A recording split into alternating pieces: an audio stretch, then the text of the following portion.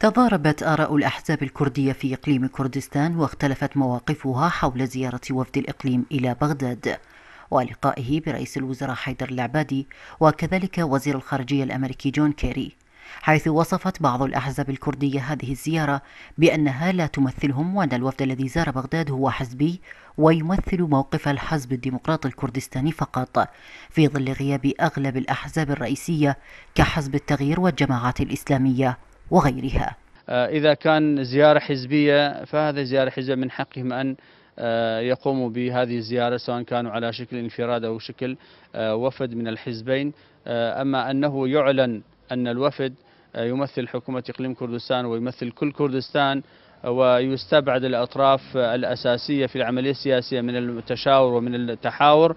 فهذا أعتقد يعني شيء مشين لأهداف الوفد ولا يأتي بنتيجة. نحن لنا ملاحظة بأن الوفود الحكومية التي تذهب إلى بغداد من الأحسن أن تتضمن ممثلين عن الأحزاب الأخرى المشاركة في حكومة إقليم كردستان.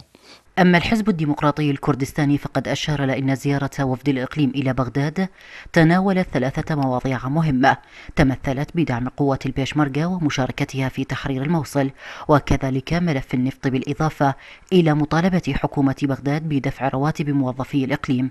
وأن الزيارة تمثل كافة الأحزاب الكردية لأن رئيس الحكومة هو رئيس لكل الأحزاب وليس للحزب الديمقراطي الكردستاني وحده. هذا زيارة زيارة آه، تمثيلية على كل الأحزابات السياسية وهاي زيارة مش بس الأخ نيتشيرافان برزاني موجودة والنائب نائب نائب رئيس الحكومة آه، على ثلاثة المواضيعات الأهم. أول موضوع دعم القوات البيشمركة ومشاركة قوات البيشمركة على تحليل مدينة الموصل وضواحيها ونقطة ثانية ملف الثانية آه، على مود ملف, ملف المال النفط واستخراج قانون النفط في الإقليم.